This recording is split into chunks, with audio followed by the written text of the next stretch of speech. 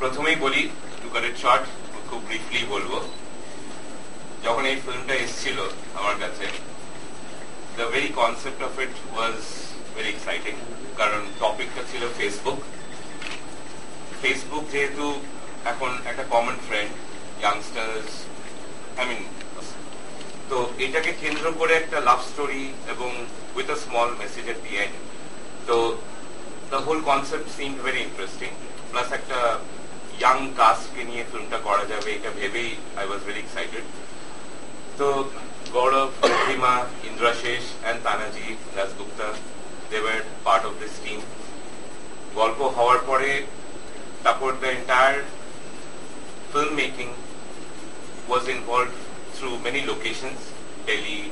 Bolpur, Baruipur, Sonarpur, Kolkata. So a lot of locations were. এবং এই কাজকে নিয়ে যেটা অরিন্দম বলল like themselves in in their real life real life. তো সেটাই আবার যখন রিল লাইফে